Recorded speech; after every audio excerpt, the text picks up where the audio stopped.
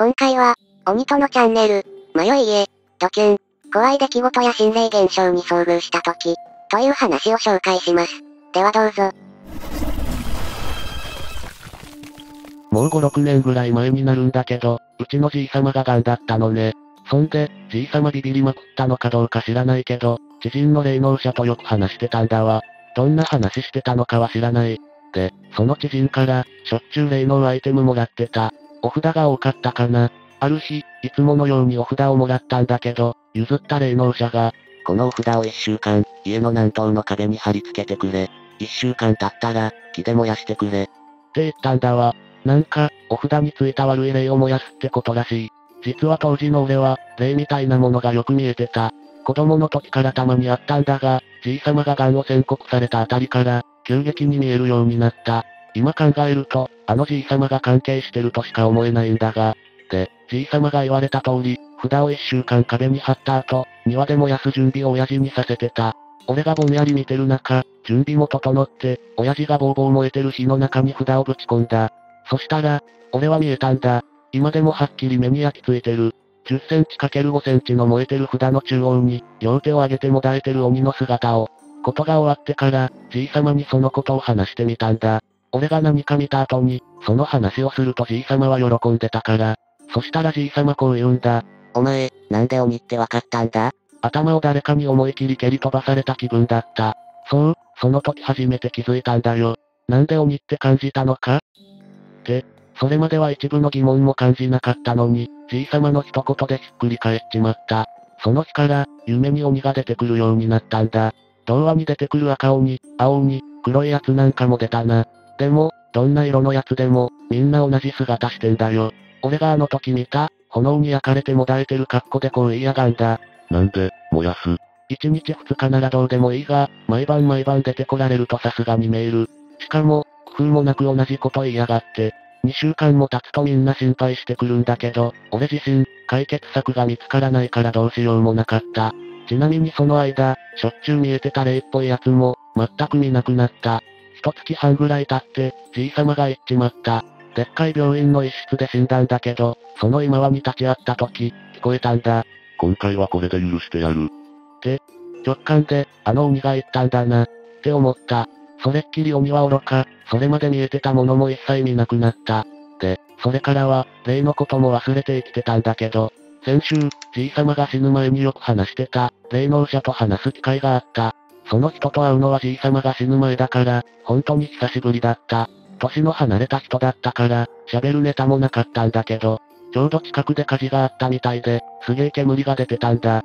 それを見てふっと思い出して、あの当時見た鬼の話をしてみた。そしたらその霊能者のおっさん、目ん玉飛び出そうな顔して、その話教えてくれ。ただしここではするな。車に乗れ。とか抜かしやがった。で、車で1時間近く走って着いたのが、寺だった。そこで初めて聞いたんだけど、そのおっさん、今は霊能者として活躍してるけど、若い時にその寺に修行してたらしい。お祓いなんかもよくしてるらしいけど、俺はよく聞いてなかった。なんつうか、その寺にいるだけで異常に吐き気がするんだよ。ぶっちゃけ、すぐに回れ右して帰りたかったけど、おっさん、有無を言わさずに中に入らせるんだよ。で、入ったのは本堂の奥にある、すげえ狭い部屋だった。たって5人ぐらいしか入れないような部屋の壁に、達筆でよく読めなかったんだけど、東、西みたいな、方角プラス正みたいな字が書かれた、でかい札が貼ってあった。その部屋に入ると、吐き気は綺麗になくなったよ。でも、やっぱり空気は異常だった。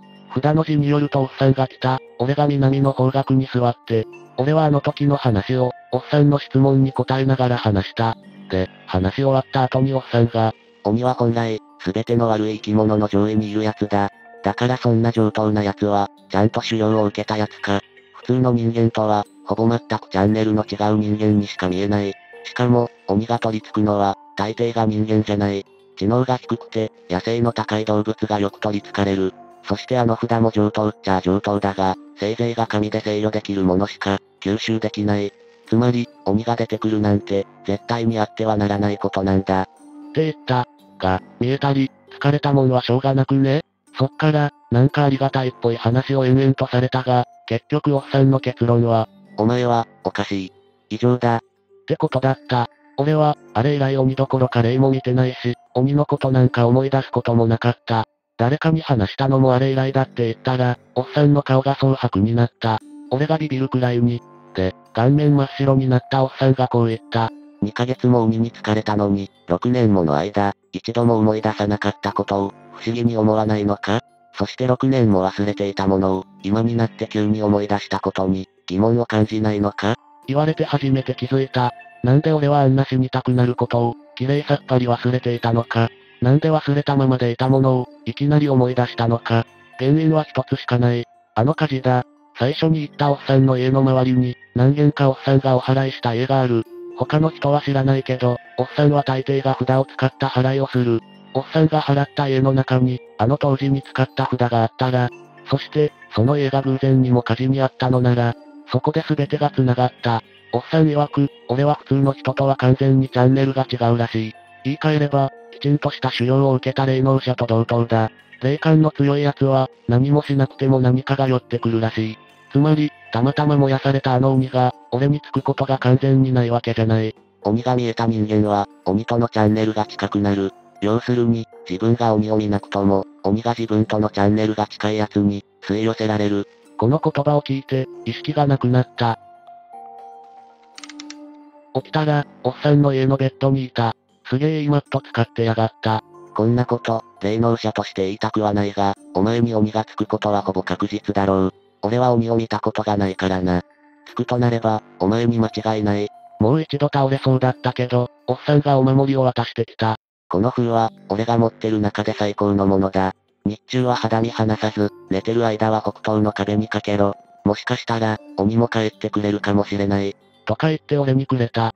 それだけが救いだった。何かあればすぐに連絡することを言って、家に帰った。あれ以来、おっさんの言われた通りにしてるんだけど、昨日あたりから変なものが見えるようになった。じじいが死んでから全く見なかったのに、何かまた鬼が来そうな気もするぜ。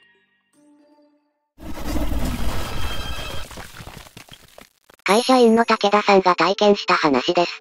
武田さんの会社では毎週末、社長のおごりで飲み会をやるのが、恒例となっていました。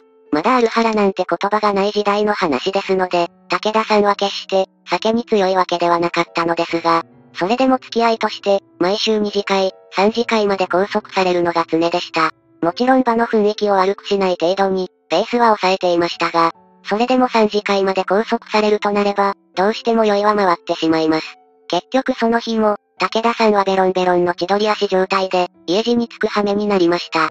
腕時計を見ると、時刻はすでに深夜2時を過ぎている。武田さんの奥さんは、夫の帰りがどれだけ遅くなろうとも、起きて待っていてくれるタイプでした。よってふわふわになった頭でも、そのことに申し訳なさを覚えるくらいの、良心はあったため、武田さんはおぼつかない足取りながらも、家路を急いだそうです。どれくらい歩いた頃か、ふと武田さんが道の先を見やると、玄関先に灯った明かりが目に入りました。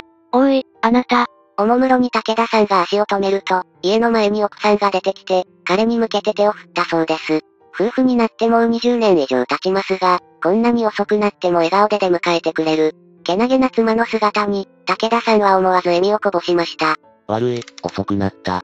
途中で帰れる雰囲気じゃなくてさ、ろれつの怪しい口で詫びながら、奥さんに肩を貸されて我が家に入る武田さん。家に入るなり、傍らにぴったりと付き添われて寝室に向かう。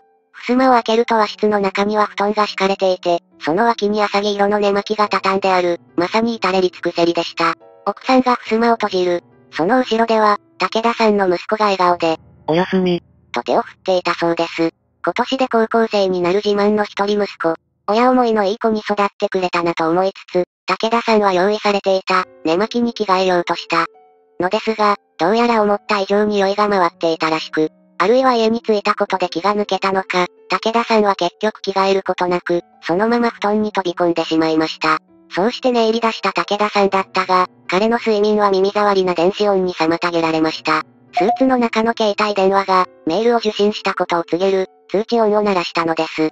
せっかく気持ちよく眠ろうと思っていたところを、邪魔立てされて苛立ちながらも、寝ぼけまなこで携帯をいじり、今しがた受信したメールに目を通す武田さん。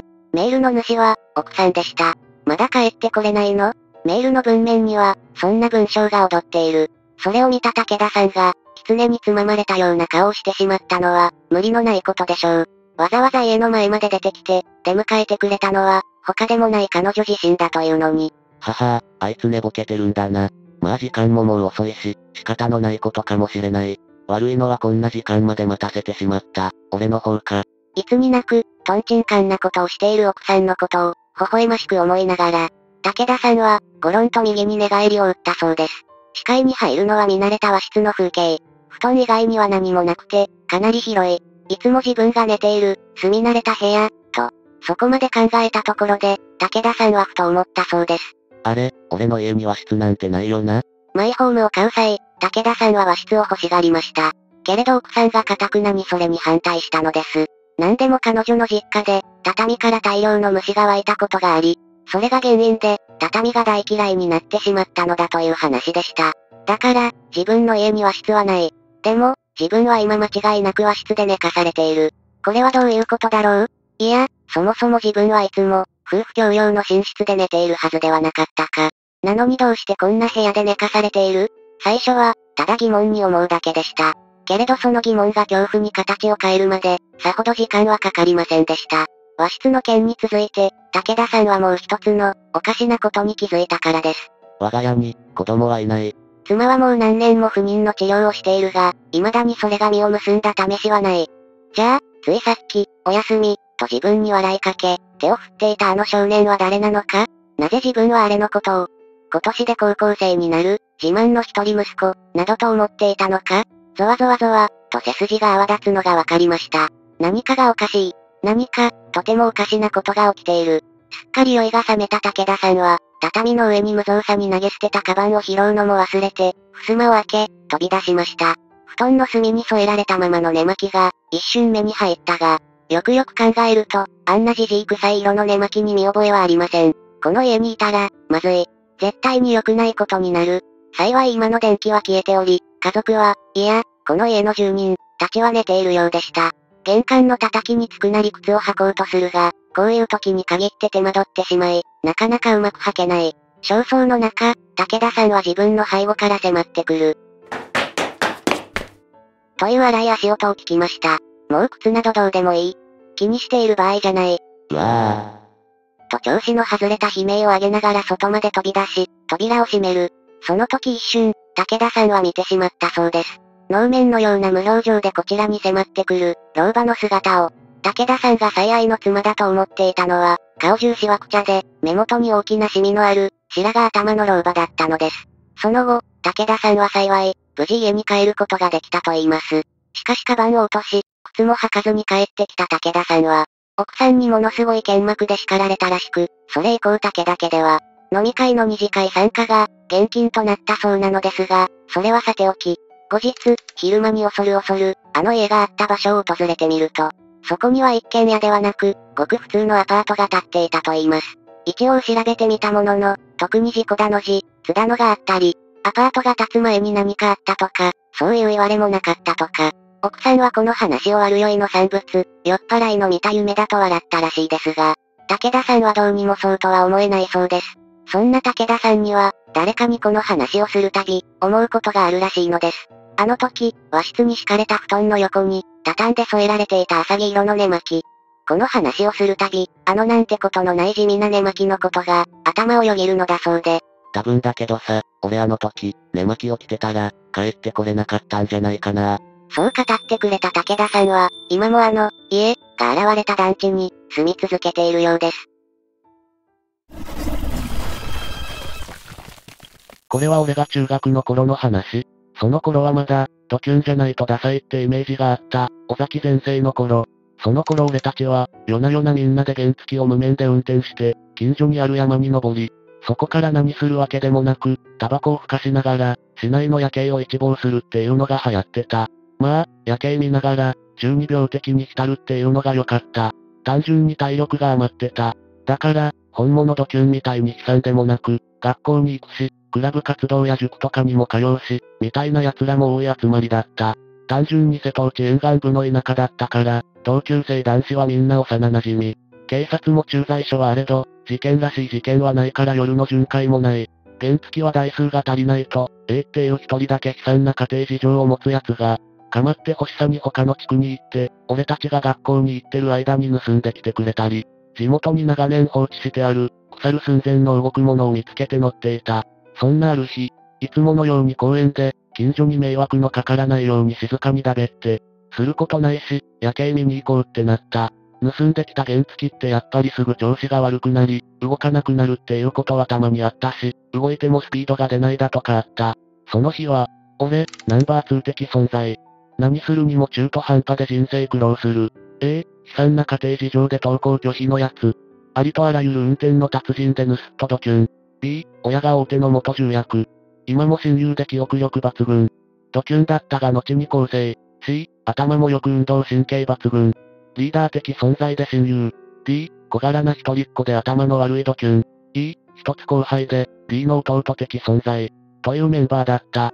原付は3台しかなくて、それぞれ2人乗りで頂上を目指すことにした。A と俺の乗る A 車、B と C の乗る B 車、D と E の乗る C 車。てな具合で山を登った。登る途中、民家がなくなると、暴走族の真似してみたり、規制を発してみたり、いつも浮かれてた。頂上に着くと夜景見たり星空見ながら、いつものようになんか青春してた。で、秋田から帰ろうかって山を下ることにした。ここから事件が始まる。この山頂への道は、大きく二つのルートが存在してた。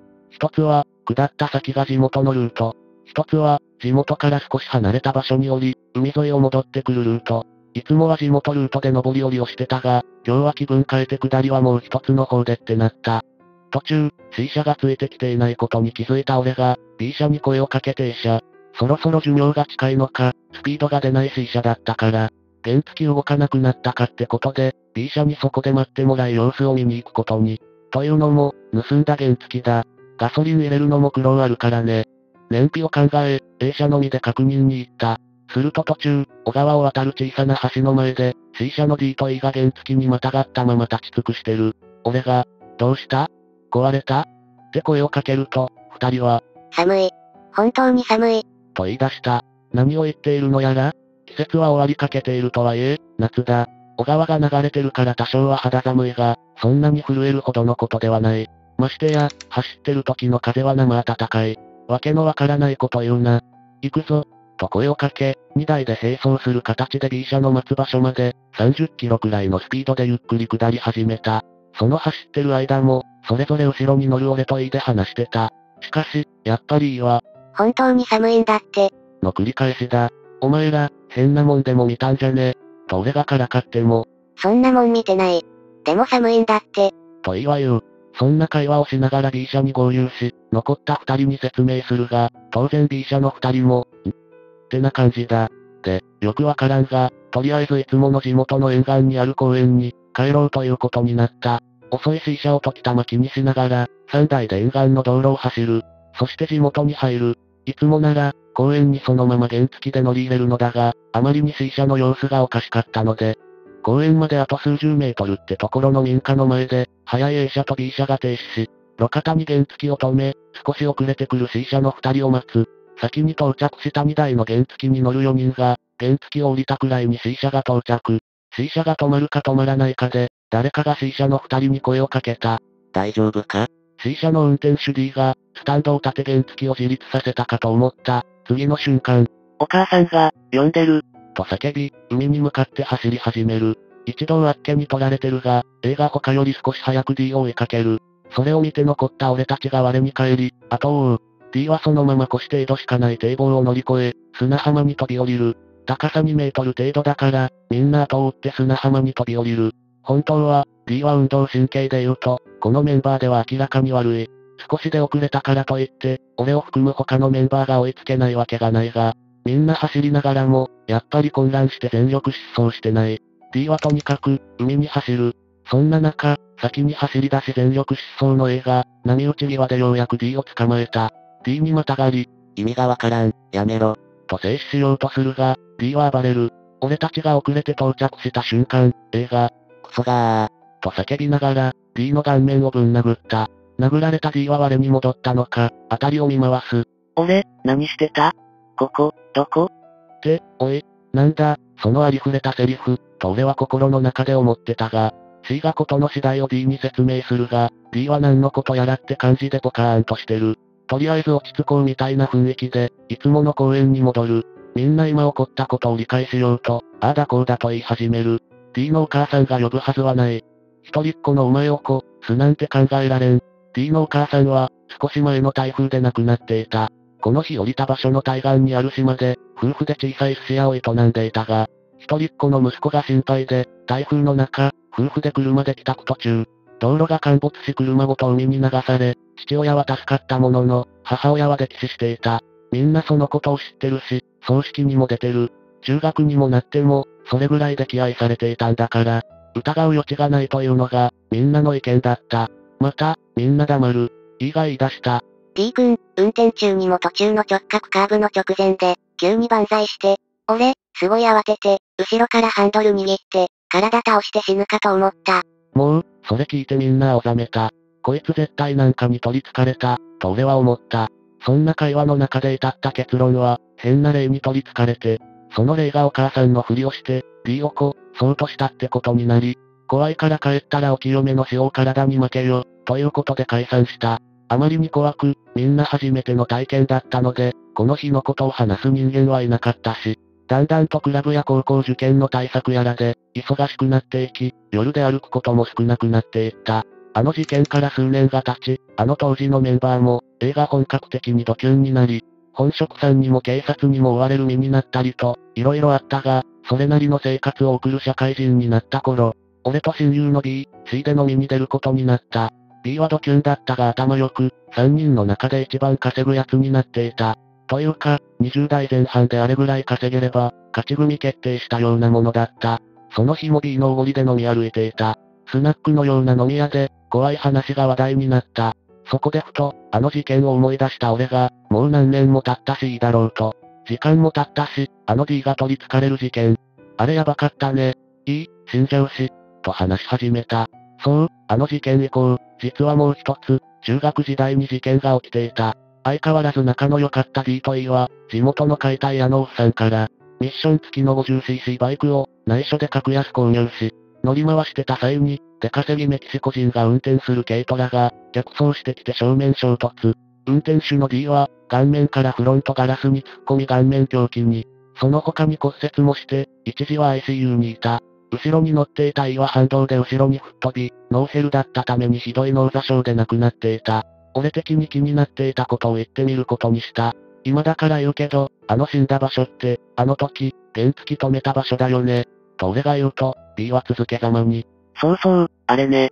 あの事件の前にも、実はやばいことがあったんだ。俺と C はその話を知らない。B 曰く、実はあの日の数日前に、一度ボロ屋の C 車を、あの山の中腹にある、地元ルートの途中の小川に捨てたが、前日、やっぱり台数ないと、みんなで移動できないからって、絶好調の A 車に3人乗り押し、C 車を引き上げに行ったらしい。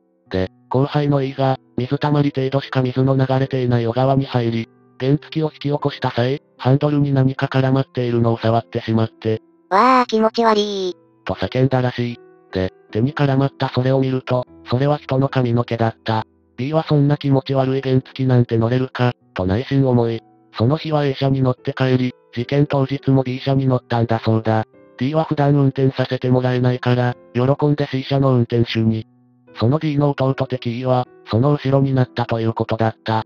D は次の日普通に投稿し、特に違和感はなかったが、E はあの日以来ずっと顔色が悪かったってこと。俺たち3人は、あいつは取り憑かれたままだったんだって思った。しかし、わからないこともある。あの髪の毛は死人のものそれとも生きている人が呪いとかに使ったもの少なくとも、じ、死者が出たなんて話は、小さい地元では当時なかった。俺は今もその田舎にいる。E が亡くなった場所から、歩いて3分くらいのところで生活してる。この話を思い出すと今でも本当に怖い。俺自身は霊とか見たこともないし、見たくもない。しかし、葬式などに行ったりして違和感を覚えたら、根拠はないが、心の中で、何もできませんよ、と思いながら、体に塩を巻くことだけは、欠かさないことにしている。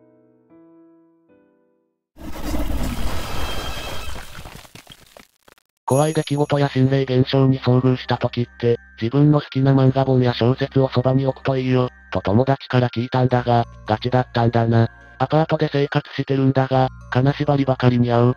大学で特に友達付き合いにも不満はないし、ストレスなんて皆無なのに、頻繁にそれは起こった。そのせいで講義中も、ぼーっとすることが多くなったし、食欲も激減。寝るのが怖いくらいだった。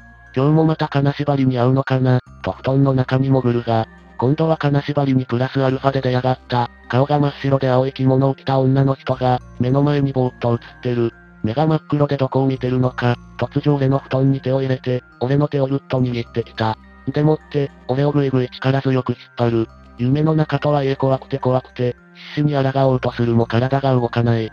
体をジタバタさせて、暴れようともがいたらやっと目が覚めた。もう体中汗でびしょびしょだった。そして金縛りの旅に現れるようになった、青い着物の女の幽霊。俺の手をぐいぐい引っ張ることもあれば、俺が寝てる布団の周りを、ぐるぐる歩き回るだけの時もある。そして無表情で俺を見下ろしているだけの時も、怪我をしている部分を思い切り握られたこともある。夢の中でも痛かった。こういうことが頻繁に起こるようになり、一人でトイレに行くのも億劫になり、ストレスも限界になった。お払いをしてもらおうと、近場の神主さんに相談しても、霊なんてついてないようだけど、と言われ、一応お払いはしてもらったが改善はせず、金縛りは続いた。元気がなく若干やつれ気味で講義を受けてると、友達がわざわざ心配して相談に乗ってくれた。神社とかでお祓いしても金縛りが全然取れなくて、着物の幽霊が部屋を徘徊してる夢ばかり見ることを、素直に伝えた。すると友達は、そういう時は、自分の大切にしているものを、枕元に置いたりしておくといいかもな。とアドバイスしてくれた。大切なものといっても、お守りとかその手のものは家には一切ない。大切なものって言われてもなぁ、と悩んでる際に。例えば自分の好きな漫画や小説とかでも、いいんじゃないかな。と言われたので、とりあえず試してみることに。で枕元に自分の好きな小説、わしおすみは勇者である、を置いて寝ることにした。しかし金縛りは相変わらず起きて、何も効果がなかった。当然、気を紛らわせるための行為でしかないのもあるし、それがお守りだろうとなんだろうと、効果なんぞ最初から期待してなかった。相変わらず青い着物の女性が、俺の寝てる周りをうろうろして、冷や汗で目が覚める。で、ある日夢に変化が訪れた。夢の中で青い着物の幽霊が、俺の真横で正座して座ってる。こんな間近に来ることなんてなかったのに。そして見た後笑った後、俺の首を絞め始めた。体が動かないし夢の中なのに苦しい。何を言ってるのかわからない声で、何事か言いながら俺の首を絞める女。振りほどけないし、早く終われ夢。と祈っても目が覚めない。しかし、なぜか急に女の首を絞める力が弱まり、息苦しくなくなった。キャララー。と着物の女が目の前でもだえ始めた。よく見ると、着物の女の体に矢みたいなものが刺さってた。苦しみながら徐々に消えていく着物の女。そして目の前に現れたのは、どこかで見たことのある女の子だった。よく見ると、枕元に置いた小説の主人公の女の子、わしおすみだった。着物の女が消えたのを確認すると、俺のところまでスタスタ歩いてきて微笑んだ。うっすらとその子も消えかかっていて、その最中に俺の頭にそっと手を乗せて、遅くなってごめんなさい。あとこの本は、燃やしてください。と一言言い残し消えた。起きると相変わらず汗でびっしょり。まだ朝の3時だったので、もう一度着替えて寝ることにした。小説の表紙を改めて見直し、効果があった。と喜んだ。こんなことってあるんだなぁ、と。再び眠りについたら、金縛りには全く合わず、ぐっすりと眠れた。おかげさまで講義に遅れる始末。後日、友達に改めて礼を言った。へえ、本当に効果あるんだなと適当に答える友達だったが、俺はひたすら礼を言い続けた。もともとハマった小説だし、今後もお守りとして枕元に置こうと思った。夢の中での炭の、燃やしてください、の言葉を忘れて、一週間くらい経って大学のコンパに参加した。酔っ払って家に帰り、そのまま布団に寝そべり寝ようとした。そして一週間ぶりに感じる嫌な感覚。再び金縛りに襲われてしまったのだった。夢の中で、なんで？と叫んでいた。炭が助けてくれたはずなのにと。しかしそこに現れたのは着物の女ではなく、一週間前に俺を助けてくれたわしおすみだった。しかしあの時の笑顔はなく、青白い表情で目が真っ黒。以前俺に付きまとった着物の女と同じ雰囲気だった。無言で俺の上にまたがり、首を絞めようとしてくる。体が動かずにどうしようもなく、再び苦しみもだえるが、首を絞めながら炭が涙を流してた。そして小さい声でぼそっと。早く、本燃やして、じゃないと。と喋った直後目が覚めた。そして我に返って墨の最初の言葉を思い出し、俺は最初に行った神社に小説を持って向かった。神主さんにそれを説明した後に小説を渡すと、可愛らしい表紙だけど、なんかついてるかもなこや。と表情を歪めた。結局お払いしてもらい、お焚き上げしてもらうことになった。その後は金縛りに会うこともなくなった。神主さん曰く、思い入れの強い者が、守護してくれる時があるらしく、それが具現化して、悪霊を本に封じてくれたんじゃないかと。神主さんも、詳しくは何とも言えないと言っていたが、俺もそう思うことにした。後日小説を買い直して枕元に置いているが、金縛りには合ってない。ただ、夢の中でぼそっと一言、耳元で、よかった。と安心するような声がした。それ以降、その手の夢は見てない。決して宣伝とかじゃなくて、金縛りとか不幸に悩まされることがあったら、自分の大事にしてるものを枕元に置くといい、という例だと思って読んでほしい。それでは、話は以上となります。コメントをしていただけると、動画制作の励みになります。チャンネル登録と高評価もお願いします。ご視聴いただきありがとうございました。次回の動画をお楽しみに。